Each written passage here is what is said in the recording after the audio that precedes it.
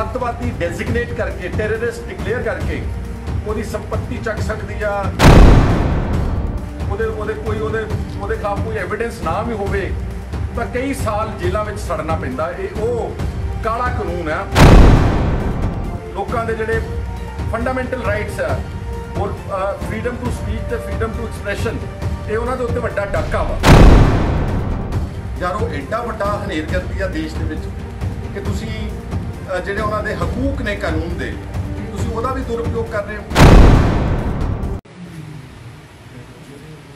ਦੋਸਤੋ, ਇਸ ਵਕਤ ਅਸੀਂ ਇੱਕ ਛੋਟੀ ਜਿਹੀ ਲੋਕ ਕਚਹਿਰੀ ਲਾਈ ਕਿਉਂਕਿ ਕੋਵਿਡ-19 ਦੇ ਮੱਦੇਨਜ਼ਰ ਬਹੁਤ ਸਾਰੀਆਂ ਰਿਸਟ੍ਰਿਕਸ਼ਨਸ ਨੇ, ਪਰ ਇਹਦਾ ਮਤਲਬ ਇਹ ਨਹੀਂਗਾ ਕਿ ਅਸੀਂ ਹੱਥ ਤੇ ਹੱਥ ਧਰ ਕੇ ਘਰ ਬਹਿ ਜਾਈਏ ਤੇ ਬੇਗੁਨਾਹ ਲੋਕਾਂ ਦੇ ਖਿਲਾਫ ਤਸ਼ੱਦਦ ਹੋਵੇ ਔਰ ਗਰੀਬਾਂ ਨੂੰ ਤੇ ਲੋੜਵੰਦਾਂ ਨੂੰ ਤੇ ਨੌਜਵਾਨਾਂ ਨੂੰ ਸਰਕਾਰ, ਯੁਆਪਾ ਵਰਗੇ ਵੱਡੇ ਵੱਡੇ ਮੁਕੱਦਮਿਆਂ ਵਿੱਚ ਚੱਕੀ ਚੱਲੇ। ਇਸ ਲਈ ਅੱਜ ਅਸੀਂ ਇਸ ਲੋਕ ਕਚਹਿਰੀ ਪ੍ਰੋਗਰਾਮ ਦੇ ਤਹਿਤ ਮਾਨਸਾ ਸ਼ਹਿਰ ਵਿੱਚ ਬੈਠੇ ਔਰ ਇੱਥੇ ਆਉਣ ਲਈ ਸਾਨੂੰ ਲੋੜ ਤਾਂ ਪਈ ਕਿਉਂਕਿ ਇਸ ਸ਼ਹਿਰ ਦੇ ਵਿੱਚ ਵੀ ਇੱਕ ਬਹੁਤ ਸਧਾਰਨ ਪਰਿਵਾਰ ਦੇ ਗੁਰਤੇਜ ਸਿੰਘ ਨੂੰ ਦਿੱਲੀ ਦੀ ਪੁਲਿਸ ਚੁੱਕ ਕੇ ਲੈ ਗਈ ਤੇ ਉਹਦੇ ਤੇ ਯੁਆਪਾ ਕਾਨੂੰਨ ਠੋਕ ਦਿੱਤਾ ਗਿਆ ਵਾ। ਯੁਆਪਾ ਪੋਟਾ, ਟਾਡਾ, ਜਿਹਦੇ ਸਾਰੇ ਕਾਨੂੰਨ, ਹਕੂਕ ਖੋਏ ਜਾਂਦੇ ਨੇ। ਕਿਸੇ ਵੀ ਆ- ਆਦਮੀ ਨੂੰ ਪੁਲਿਸ ਅੱਤਵਾਦੀ ਡੈਜ਼ਿਗਨੇਟ ਕਰਕੇ ਟੈਰਰਿਸਟ ਡਿਕਲੇਅਰ ਕਰਕੇ ਉਹਦੀ ਸੰਪਤੀ ਚੱਕ ਸਕਦੀ ਆ, ਉਹਦੇ ਉਹਦੇ ਕੋਈ, ਉਹਦੇ ਉਹਦੇ ਖਿਲਾਫ ਕੋਈ ਐਵੀਡੈਂਸ ਨਾ ਵੀ ਹੋਵੇ, ਤਾਂ ਕਈ ਸਾਲ ਜੇਲ੍ਹਾਂ ਵਿੱਚ ਸੜਨਾ ਪੈਂਦਾ। ਇਹ ਉਹ ਕਾਲਾ ਕਾਨੂੰਨ ਆ। ਔਰ ਇਸ ਕਾਲੇ ਕਾਨੂੰਨ ਦੀਆਂ ਸਾਰੀਆਂ ਪਾਰਟੀਆਂ ਨੇ ਵਿਰੋਧ ਕੀਤਾ। ਕਾਂਗਰਸ ਪਾਰਟੀ ਨੇ ਦਿੱਲੀ, ਜਦੋਂ ਪਾਸ ਹੋ ਰਿਹਾ ਸੀ ਲੋਕ ਸਭਾ 'ਚ ਤਾਂ ਇਸ 2019 ਚ ਇਹਦਾ ਵਿਰੋਧ ਕਰਕੇ ਵਾਕਆਊਟ ਕੀਤਾ। ਆ ਥੋੜੇ ਦਿਨ ਪਹਿਲਾਂ ਕਪਿਲ ਸਿੱਬਲ ਕਾਂਗਰਸ ਦੇ ਬਹੁਤ ਵੱਡੇ ਲੀਡਰ ਉਹਨਾਂ ਨੇ ਆਰਟੀਕਲ ਲਿਖਿਆ ਹਿੰਦੁਸਤਾਨ ਟਾਈਮਸ ਕੇ ਯੁਵਾਪਾ ਕਾਲਾ ਕਾਨੂੰਨ ਹੈ। ਇਹ ਲੋਕਾਂ ਦੇ ਜਿਹੜੇ ਫੰਡਾਮੈਂਟਲ ਰਾਈਟਸ ਹੈ ਬੋਲ ਫਰੀडम ਟੂ ਸਪੀਚ ਤੇ ਫਰੀडम ਟੂ ਐਕਸਪ੍ਰੈਸ਼ਨ ਇਹ ਉਹਨਾਂ ਦੇ ਉੱਤੇ ਵੱਡਾ ਡਾਕਾ ਵਾ।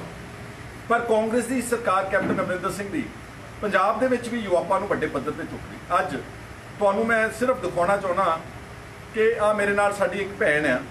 ਬੀਬੀ, ਤੁਹਾਡਾ ਨਾਮ ਕੀ ਹੈ ਅੰਮ੍ਰਿਤਪਾਲ ਕੌਰ। ਇਹ, ਇਸ ਦਾ ਪਤੀ, ਉਹ ਫੋਟੋ ਵੀ ਲੈ ਉਹਦੀ ਜੀ ਬੇਟੇ। ਉਸ ਉਸ ਦਾ ਪਤੀ ਜਿਹੜਾ ਇਹ ਇਹ ਪਰਿਵਾਰ ਵੀ ਸ਼ਡਿਊਲ ਕਾਸਟ ਹੈ ਇਹ ਦਲਿਤ ਪਰਿਵਾਰ ਹੈ ਮਾਨਸਾ ਦਾ। ਇਹਦਾ ਪਤੀ ਇੱਕ ਸਧਾਰਨ ਪਲੰਬਿੰਗ ਦਾ ਕੰਮ ਕਰਦਾ ਸੀ ਪਲੰਬਰ ਉਸ ਨੂੰ ਇਹ ਹਸਪਤਾਲ ਆਪਰੇਸ਼ਨ ਕਰਾਉਣ ਗਈ ਹੈ ਹਾਲੇ ਵੀ ਤੁਸੀਂ ਦੇਖ ਸਕਦੇ ਆ, ਬੈਗ ਲੱਗਿਆ ਹੋਇਆ ਇਹਦੇ ਨਾਲ। ਔਰ ਇਹ, ਇਹਦੇ ਘਰ ਵਾਲੇ ਨੂੰ, ਜਿਸ ਦੀ ਫੋਟੋ ਤੁਸੀਂ ਦੇਖ ਸਕਦੇ ਬੱਚਾ, ਇਹਦੇ ਬੱਚੇ ਨੇ ਛੋਟੇ ਛੋਟੇ ਆ ਬੱਚਾ, ਨਿੱਕਾ ਬੱਚਾ, ਦੋ ਬੱਚੇ ਨੇ, ਇੱਕ ਛੋਟੀ ਜਿਹੀ ਬੱਚੀ ਹੈ। ਇਹ ਇਹਨਾਂ ਨੂੰ ਇਹਨਾਂ ਨੂੰ ਇਸ ਪਤੀ ਨੂੰ ਦਿੱਲੀ ਦੀ ਪੁਲਿਸ ਮਾਨਸਾ ਹਸਪੀਟਲ ਤੋਂ ਚੱਕ ਕੇ ਲੈ ਗਈ 24 ਜੂਨ ਨੂੰ। ਅੱਜ ਤੱਕ ਇਹਨਾਂ ਨੂੰ ਐਫ ਆਈ ਆਰ ਦੀ ਕਾਪੀ ਨਹੀਂ ਦਿੱਤੀ। ਇਹਨਾਂ ਨੂੰ ਕੁਝ ਨਹੀਂ ਦੱਸਿਆ ਕਿਹੜੀ ਜੇਲ੍ਹ ਵਿੱਚ ਬੰਦ ਹੈ, ਕਿੱਥੇ ਇਹਨਾਂ ਦੀ ਮੁਲਾਕਾਤ ਹੋਣੀ ਹੈ। ਯਾਰ ਉਹ ਐਡਾ ਵੱਡਾ ਹਨੇਰਗਰਦੀ ਆ ਦੇਸ਼ ਦੇ ਵਿੱਚ ਕਿ ਤੁਸੀਂ ਜਿਹੜੇ ਉਹਨਾਂ ਦੇ ਹਕੂਕ ਨੇ ਕਾਨੂੰਨ ਦੇ, ਤੁਸੀਂ ਉਹਦਾ ਵੀ ਦੁਰਉਪਯੋਗ ਕਰ ਰਹੇ ਹੋ। ਔਰ ਇਸ ਸਾਡੀ ਭੈਣ ਨੇ ਇਹ ਬਿਮਾਰ ਪਈ ਆ ਪਿਛਲੇ 1 ਮਹੀਨੇ ਤੋਂ। ਔਰ ਇਹਨੇ ਇਹ ਇਹ ਡੇਲੀ ਵੇਜਸ ਜਿੱਦਾਂ ਆਪਾਂ ਕਹਿੰਦੇ ਕਿ ਰੋਜ਼ ਆਪਣੀ ਕਮਾਈ ਕਰਕੇ ਪਲੰਬਿੰਗ ਦਾ ਕੰਮ ਕਰਕੇ ਗੁਰਤੇਜ ਸਿੰਘ ਆਪਣਾ ਗੁਜ਼ਾਰਾ ਕਰਦਾ ਸੀਗਾ। ਆ ਛੋਟੇ ਛੋਟੇ ਉਹਦੇ ਬੱਚੇ ਹੈਗੇ ਆ। ਤੇ ਇਹਨਾਂ ਨੂੰ ਯੁਵਾਪਾ ਦੇ ਤਹਿਤ ਟੰਗ ਯੁਵਾਪਾ ਤਾਂ ਜਿਹੜੇ ਬਹੁਤ ਵੱਡੀ ਹਥਿਆਰਬੰਦ ਲੜਾਈ ਲੜ ਰਹੇ ਨੇ, ਕੋਈ ਵੱਡੇ ਪੱਧਰ ਦੇ ਅੱਤਵਾਦੀ ਨੇ ਇੰਟਰਨੈਸ਼ਨਲ ਟੈਰਰਿਸਟ ਨੇ। ਯਾਰ ਉਹਨਾਂ 'ਤੇ ਲਾਓ, ਇੱਦਾਂ ਲਾਈ ਜਾਂਦੇ ਹੋ। ਔਰ ਕੈਪਟਨ ਸਾਹਿਬ ਨੂੰ ਮੇਰੀ ਬੇਨਤੀ ਆ ਕਿ ਤੁਹਾਨੂੰ ਪੰਜਾਬ ਦੇ ਅਸੀਂ ਚੀਫ ਮਿਨਿਸਟਰ ਬਣਾਇਆ ਪੰਜਾਬ ਦੇ ਲੋਕਾਂ ਇਹਨਾਂ ਲੋਕਾਂ ਨੇ ਵੋਟਾਂ ਪਾਈਆਂ ਸਾਰਿਆਂ ਨੂੰ। ਮੇਰੇ ਨਾਲ ਐਮਐਲਏ ਸਾਹਿਬ ਖੜੇ ਨੇ, ਜਗਦੇਵ ਸਿੰਘ ਕਮਾਲੂ ਮੋੜ ਹਲਕੇ ਦੇ। ਆਪ ਮੇਰੇ ਨਾਲ ਖੜੇ ਨੇ ਸਰਦਾਰ ਪਿਰਮਲ ਸਿੰਘ ਖਾਲਸਾ ਐਮਐਲਏ ਭਦੌੜ, ਡਾਕਟਰ ਧਰਮਵੀਰ ਗਾਂਧੀ ਅੱਜ ਸਿਹਤ ਕਾਰਨਾਂ ਕਰਕੇ ਸਾਡੇ ਨਾਲ ਨਹੀਂ ਆ ਸਕੇ। ਅਸੀਂ ਪਿੰਡ ਪਿੰਡ ਜਾ ਕੇ ਤੁਹਾਨੂੰ ਦਿਖਾ ਰਹੇ ਹਾਂ ਕਿ ਇਹਨਾਂ ਦੇ ਘਰ ਦਾ ਦ੍ਰਿਸ਼ ਦੇਖ ਲਓ। ਕਿੱਡਾ ਕੁ ਵੱਡਾ ਇਹ ਅੱਤਵਾਦੀ ਹੋਊਗਾ ਜਿਹਨੂੰ ਇਹਨਾਂ ਨੇ ਯੁਵਾਪਾ ਦੇ ਤਹਿਤ ਅੱਜ ਇਸ ਨੂੰ ਬੰਦ ਕਰਕੇ ਤੇ ਦਿੱਲੀ ਦੀ ਜੇਲ੍ਹ 'ਚ ਕਰਤਾ। ਮੁਲਾਕਾਤ ਨਹੀਂ, ਪਤਾ ਨਹੀਂ, ਐਫ ਆਈ ਆਰ ਨਹੀਂ। ਇਹਦਾ ਵਕੀਲ ਵੀ ਨਹੀਂ ਖੜਾ ਕਰ ਸਕਦੇ। ਇਸ ਲਈ ਮੈਂ ਤਾਂ ਸਾਡਾ ਸਿਰਫ ਫਰਜ਼ ਬਣਦਾ ਸੀਗਾ ਕਿ ਜੋ ਕੇਂਦਰ ਦੀ ਸਰਕਾਰ ਤੇ ਪੰਜਾਬ ਸਰਕਾਰ ਜਿਸ ਢੰਗ ਦੇ ਨਾਲ ਯੁਵਾਪਾ ਦਾ ਕਾਨੂੰਨ ਦਾ ਦੁਰਉਪਯੋਗ ਕਰ ਰਹੀ ਆ, ਇਹ ਬੰਦ ਹੋਣਾ ਚਾਹੀਦਾ। ਅਗਰ ਕਿਸੇ ਨੇ ਕੋਈ ਗੁਨਾਹ ਕੀਤਾ ਵੀ ਆ ਫਰਜ਼ ਕਰੋ ਕੋਈ ਕੋਈ 2020 ਦੀ ਕੋਈ ਪੋਸਟ ਲਾਈਕ ਕਰਦੀ ਕੋਈ ਸ਼ੇਅਰ ਕਰਦੀ ਉਹਦਾ ਉਹਨਾਂ ਮਨ ਦਾ ਚਲਾਨ ਕਰ ਦਿਓ। ਯੁਆਪਾ ਦਾ ਚਲਾਨ ਮਤਲਬ ਕਈ ਸਾਲ ਜੇਲ੍ਹਾਂ ਵਿੱਚ ਸੜਨਾ ਹੋਵੇਗਾ।